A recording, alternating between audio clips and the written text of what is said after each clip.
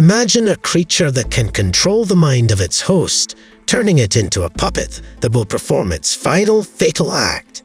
Sounds like something out of a horror movie, right?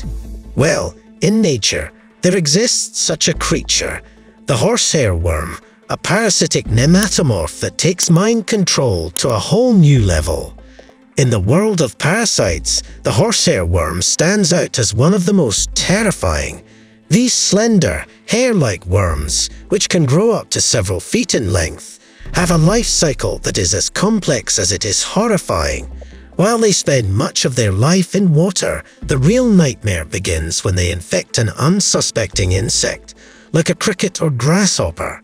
It all starts innocently enough, with the insect ingesting the larvae of the horsehair worm, often by accident while drinking water. Once inside, the larvae begin to grow, feeding off the insect's internal fluids and tissues. But here's the truly creepy part. The worm doesn't kill the insect right away.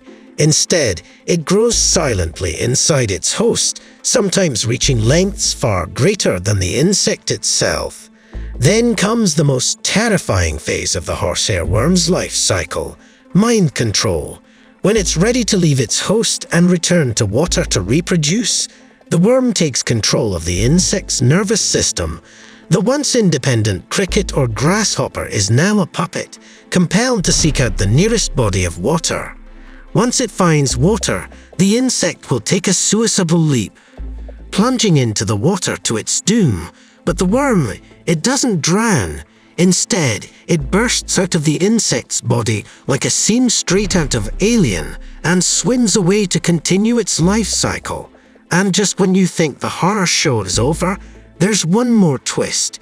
Before the worm leaves its host, it often lays eggs inside the insect's body.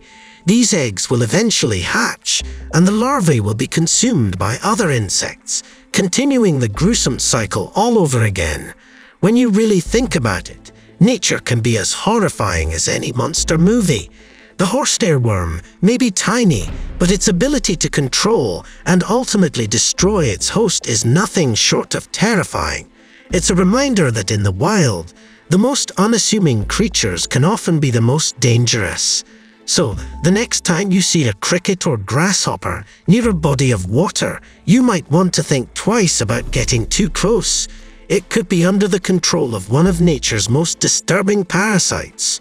If you enjoyed this dive into the darker side of the natural world, make sure to like, subscribe, and hit that notification bell so you don't miss any future videos.